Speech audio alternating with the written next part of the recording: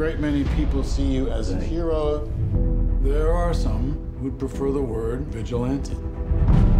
You've operated with unlimited power and no supervision. That's something the world can no longer tolerate. I know how much Bucky means to you. Stay out of this one. Please. You'll only make this worse. You saying you'll arrest me? There will be consequences.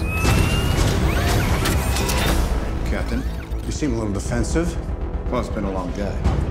If we can accept Elizabeth helps secure limitations, the Memphis edge with the we're no cogs there. than that, guys. Pie's able to tether out. That's not the Should last. be okay. Envy very tanky. He's gonna burn. Sometimes I wanna punch you in your Crazy prison. finished off. In Envy.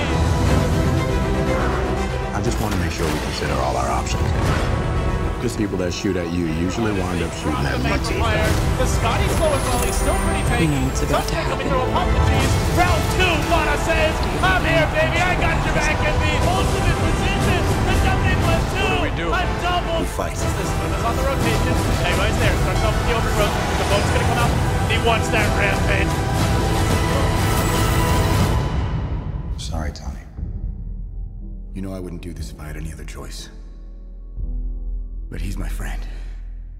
So was I. Now the stun comes through, well timed. They have to fall. Laguna ends it. Now Envy on the chase. He sees Puppey.